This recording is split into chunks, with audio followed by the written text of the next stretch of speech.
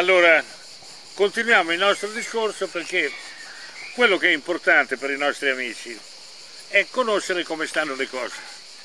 Se i 5 Stalle hanno vinto le elezioni è perché i 5 Stalle presero, ti ricordi bene, posizione contro la volontà del governo dell'uomo di Firenze che è l'uomo che rappresentava la curia fiorentina, che è altra cosa la curia fiorentina dalla curia bolognese. Sono due diverse tradizioni. Una volta esistevano i vescovi principi, tant'è vero che una tipica espressione... Eh, in particolare in Germania. Ecco. Esattamente, ma una tipica espressione di questa identificazione del potere clericale cattolico tedesco con il potere statale è stato Ratzinger. Quindi queste sono cose che noi dobbiamo sapere. Lo scontro che c'è stato tra Ratzinger, sì. espressione del clero tedesco, ah, sì. germanico, no, e Francesco, uomo gesuitico, bene, tutto, bene, tutto è, al meglio veramente. È un lo scontro tra un, cattolicesimo, un cattolicesimo verso, radicato ecco, e un cattolicesimo anni fa, anni fa, eh, volante eh, va bene, va bene. di carattere gesuitico, un cattolicesimo senza patria che è tipico dei gesuiti. Su ah, questo argomento okay, okay. c'è un'altra cosa da riflettere, già che ci sono, ho un libro qui no, che eh, ci racconta anche questo aspetto, perché è un aspetto che ritorna sistematicamente. Sì.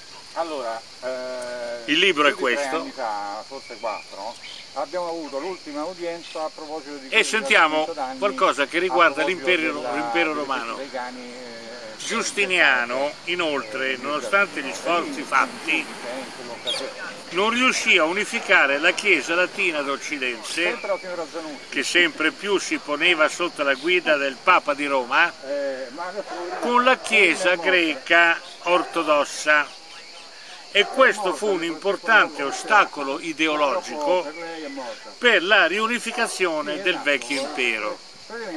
La Chiesa occidentale non avrebbe accettato la supremazia dell'imperatore nella sfera religiosa. Particolare questo molto più importante di quanto non appaia a prima vista.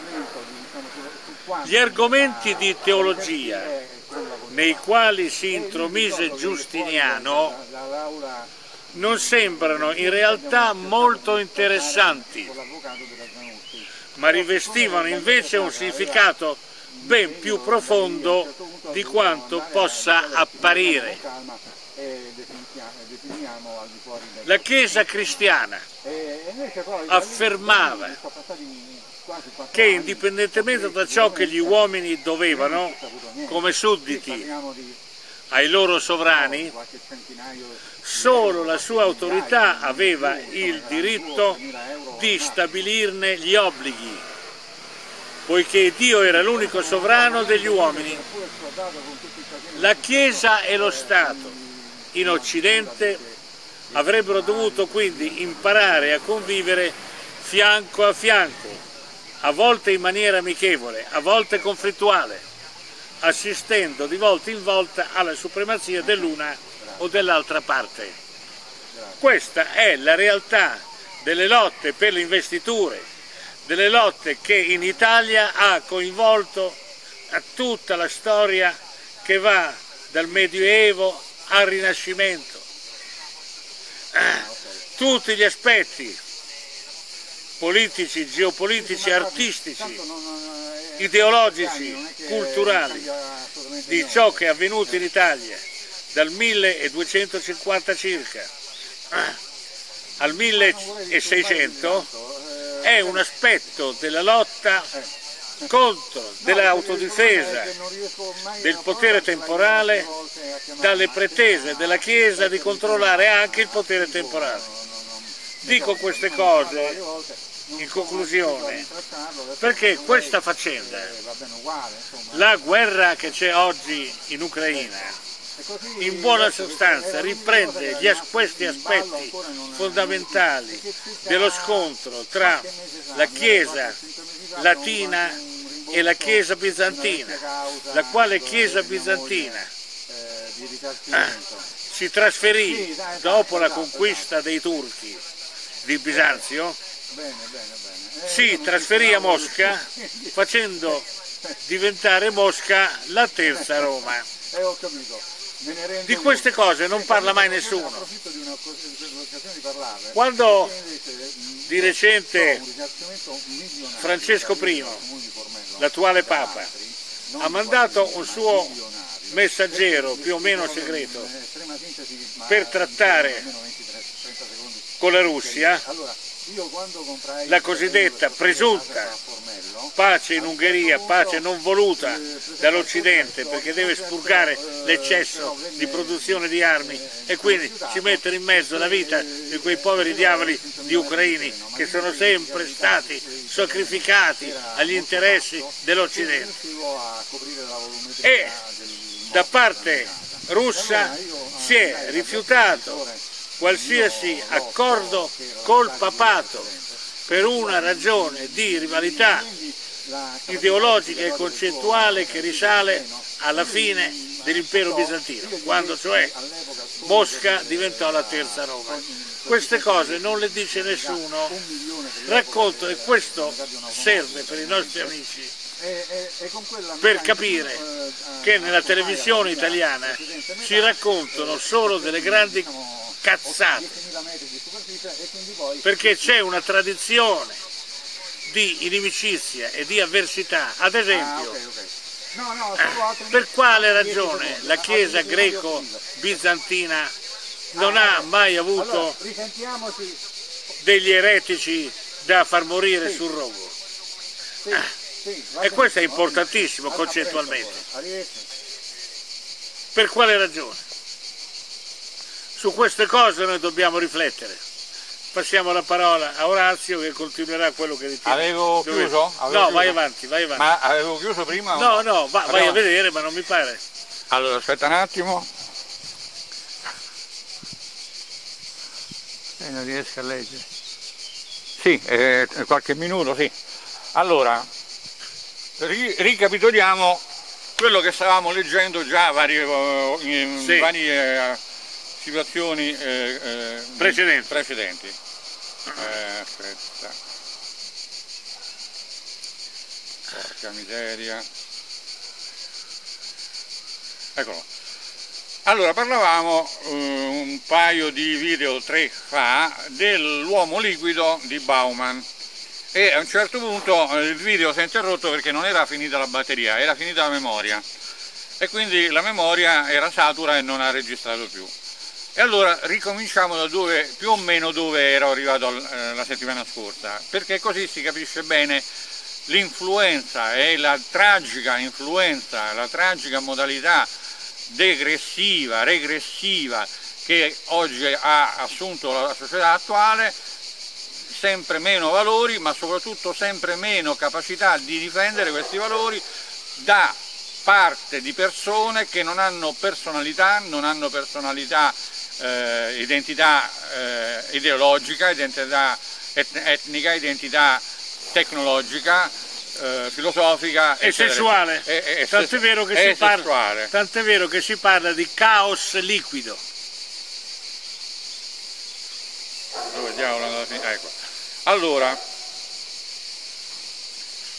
ricominciamo da dove eravamo più o meno rimasti.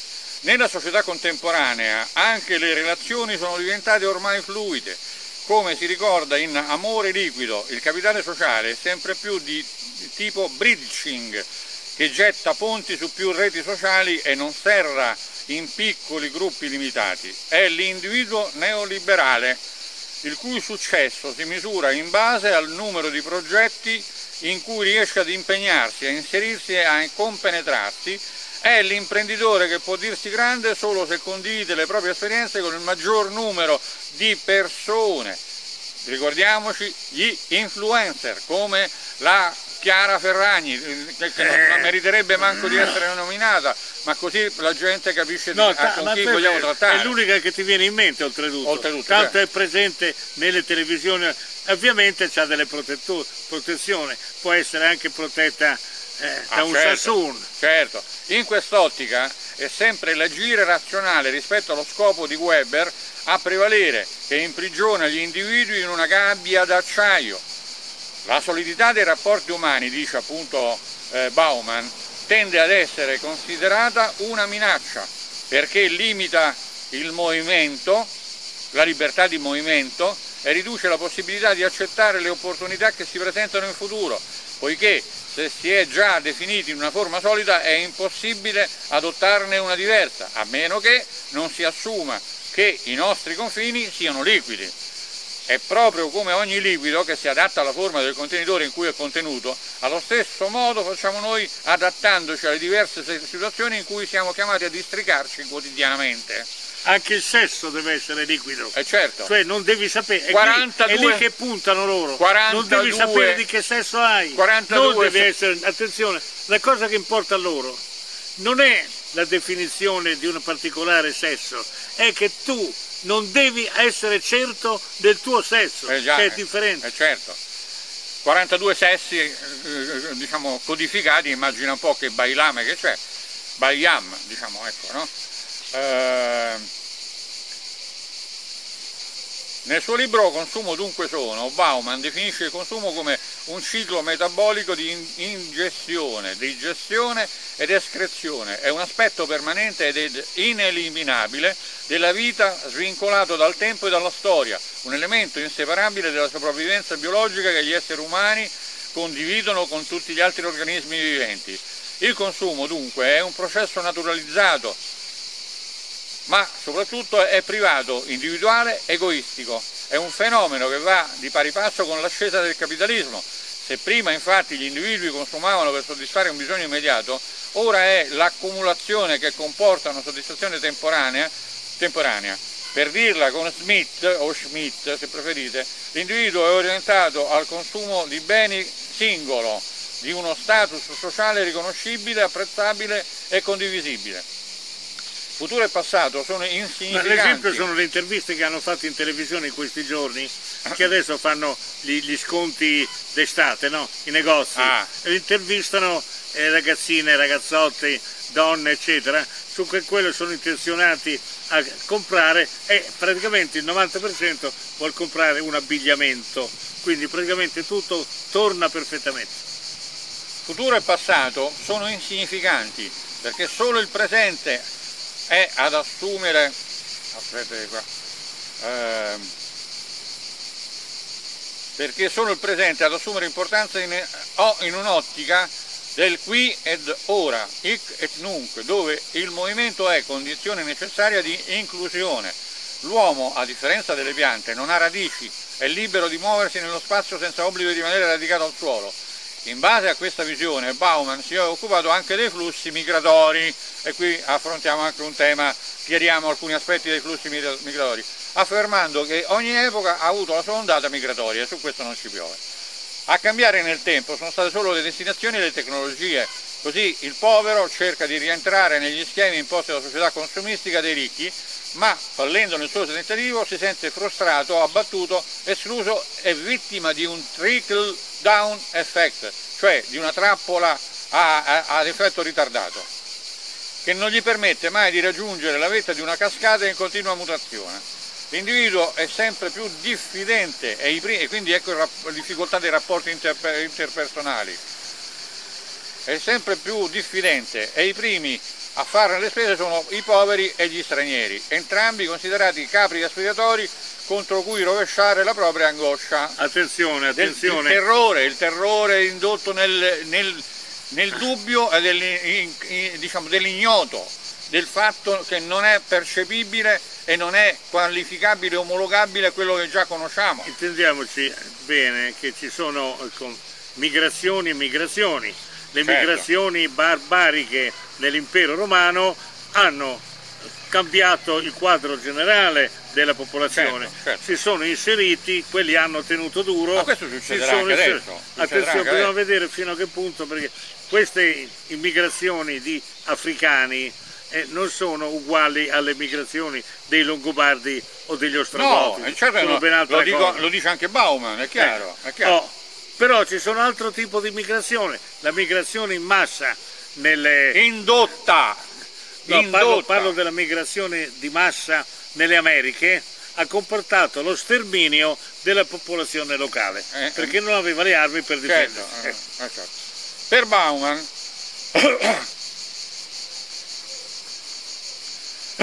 scusate, la vita dei poveri impedisce ai non poveri di immaginare un mondo diverso.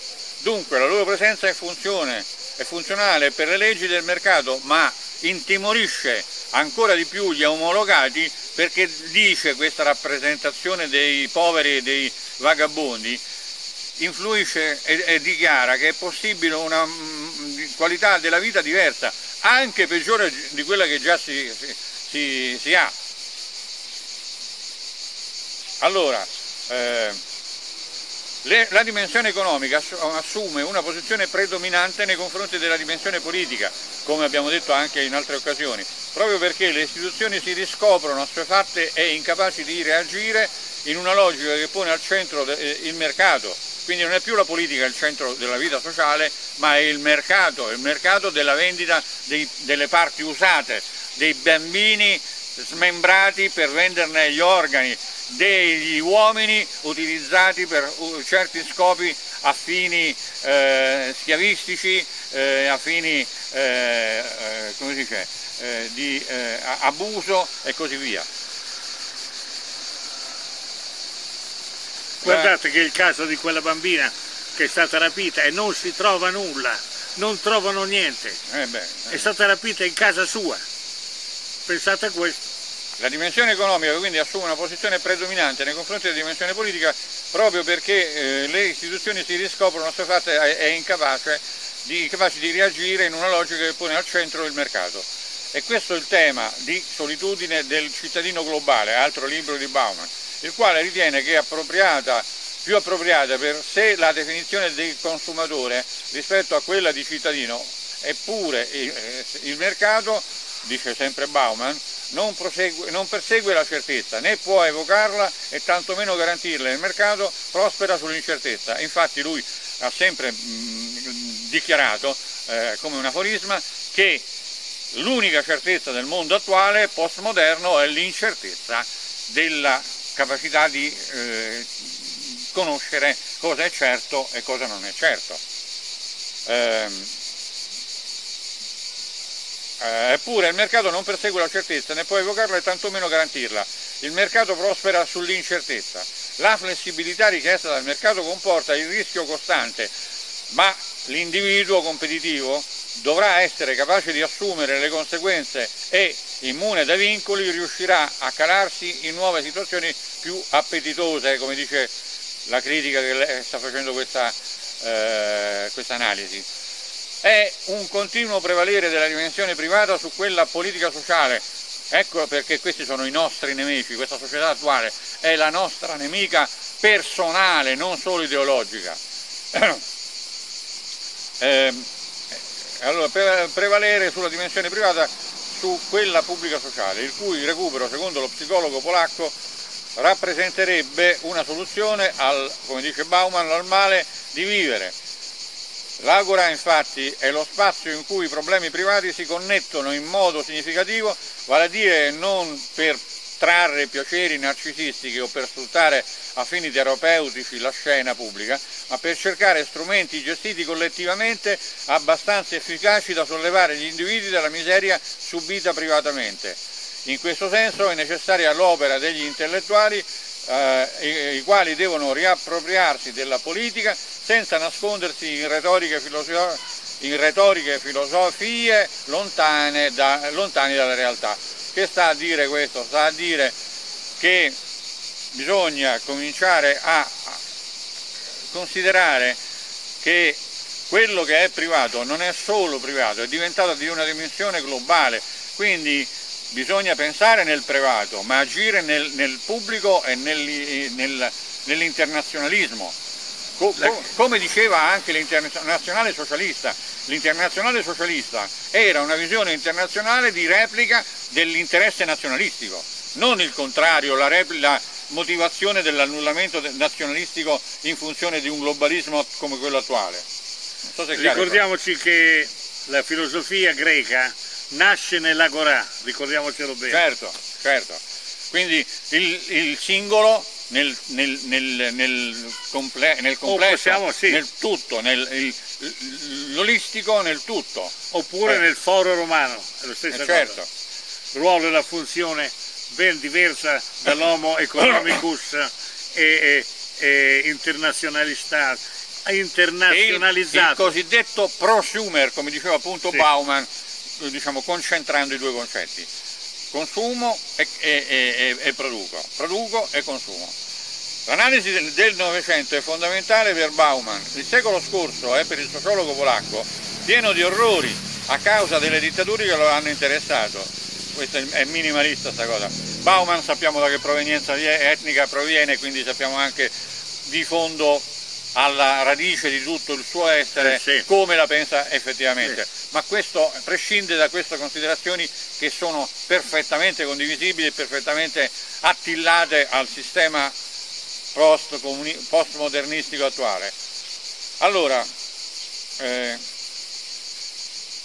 a causa delle dittature che lo hanno interessato. A ciò segue quella che Castell aveva definito esplosione della società salariale, e qui poi affrontiamo il tema, che ha portato all'umiliazione del lavoro, il quale nella società odierna non assicura più uno status stabile. La frammentazione della condivisione lavorativa, come abbiamo accennato anche in un'altra occasione, si accompagna al fallimento dello Stato sociale che, invece, eh, che aveva invece caratterizzato il Fordismo maturo, cioè quello che diceva eh, John Ford eh, all'epoca, all'inizio del Novecento.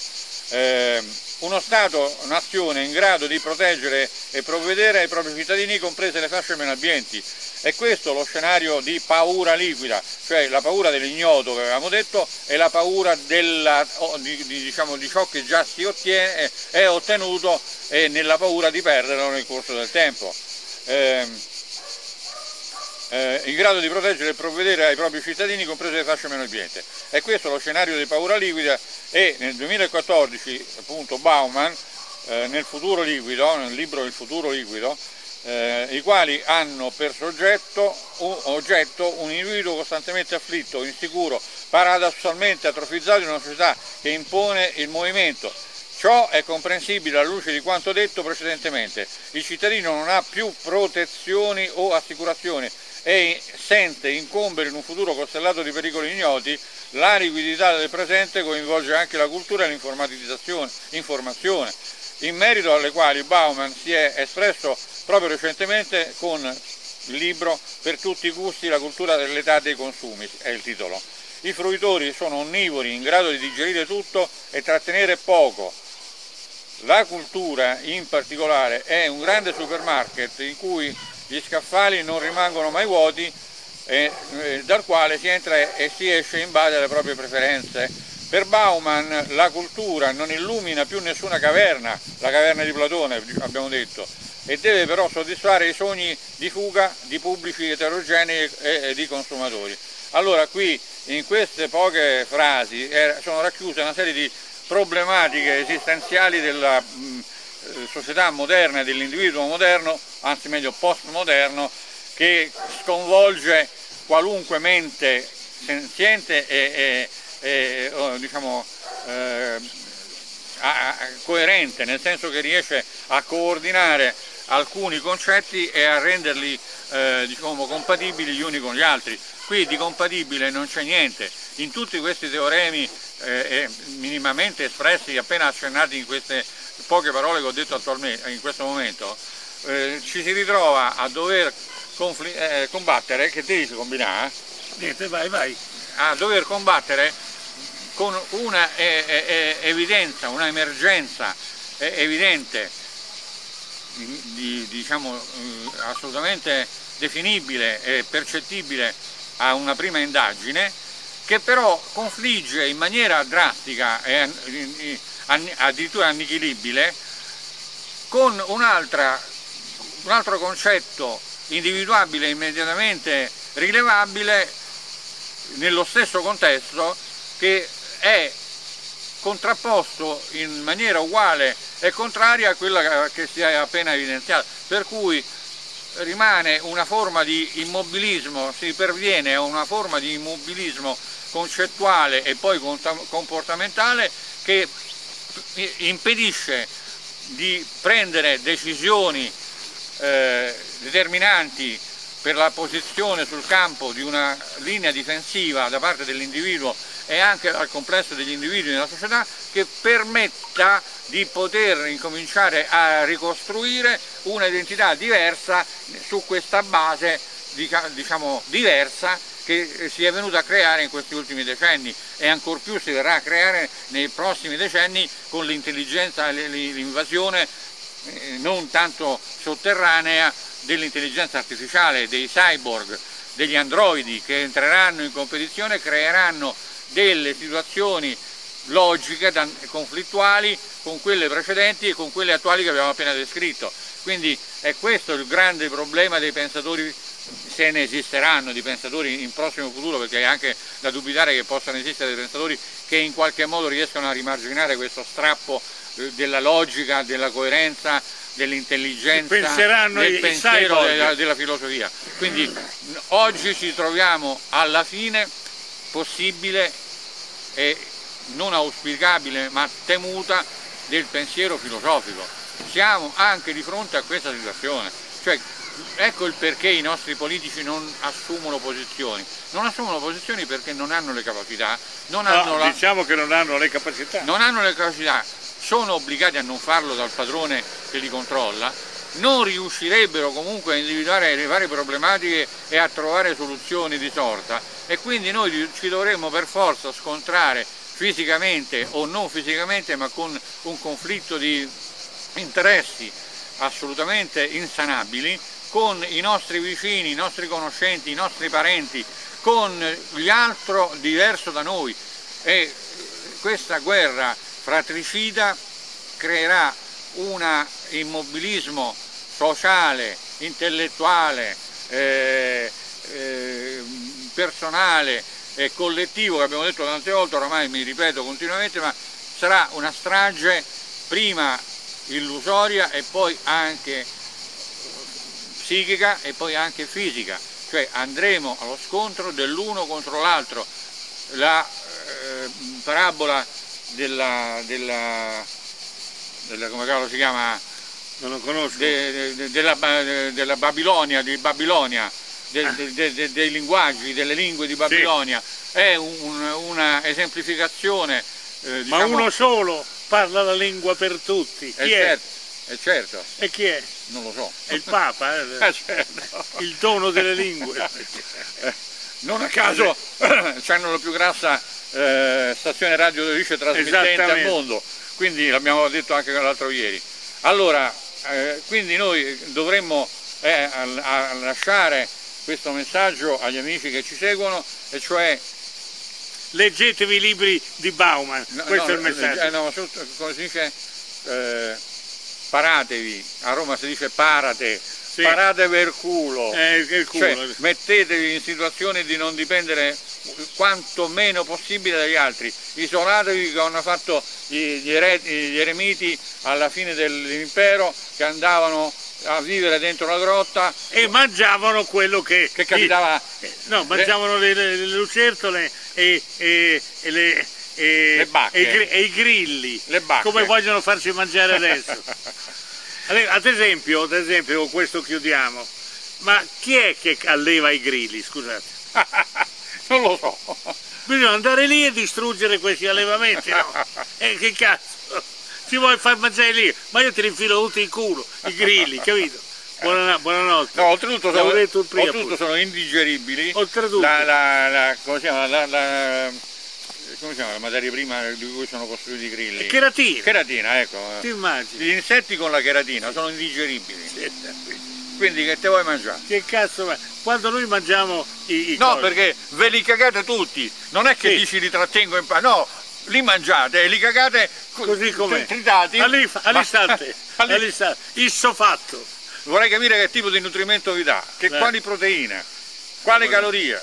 Roba da non credere. Io vorrei capire chi cazzo gli viene in mente, cioè l'analfabeta più assoluto. Cioè se io dicevo una cosa del genere a mio nonno che era un vecchio contadino, rincoglionito che non so che tipo di studio aveva fatto, se aveva fatto la quinta elementare o meno, ma avrebbe preso a calcio in culo finché non si era consumato il, il piede. Vabbè, andiamo. Pace e bene. Sempre. So long. So long. Onore a Priapo.